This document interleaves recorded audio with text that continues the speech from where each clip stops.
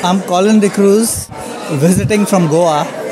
I keep coming every year in July because I have two sisters living here. This is my fourth trip to Canada, and over the last four years, I've made a lot of musician friends. I've invited a singer from Canada to India, and today she's invited me to perform with her band, Laura Fernandez. She's a Spanish singer and she's, a, She's of Spanish origin but lives in Canada. And she has a radio show here. She's quite famous. Yes, yes. CJRT. She's quite well known. She has a radio show on the biggest jazz channel called Jazz FM 91. Now, Colin, you uh, originally started um, performing in, in Bombay in the circuits. Can you tell us a little bit about that?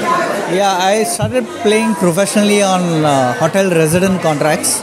This was uh, from the year 1978.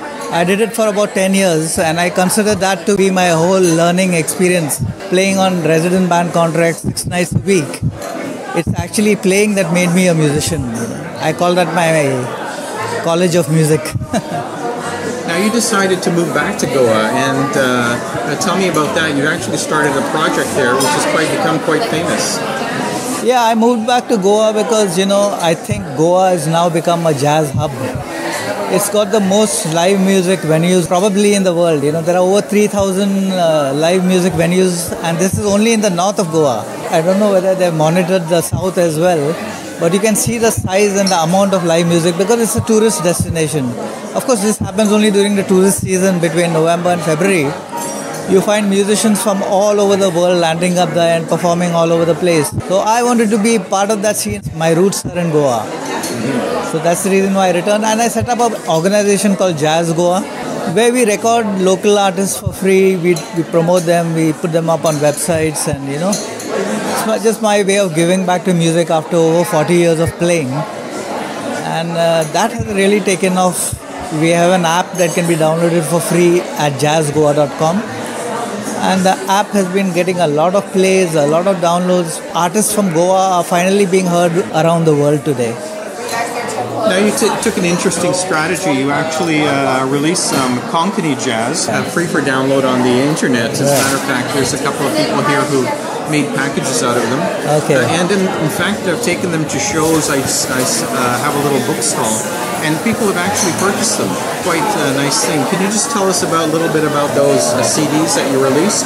The one, the Konkani Jazz one, I released because I wanted to take local music from Goa to the rest of the world. And one way of doing it was jazzing them up and making them palatable to the rest of the world. So the typical Konkani songs where, you know, we injected them with Latin rhythms and we swing tempos and turned them into jazz tunes and we found there were a lot of downloads worldwide. Besides the Goans, there were other people from around the world downloading this and enjoying the music.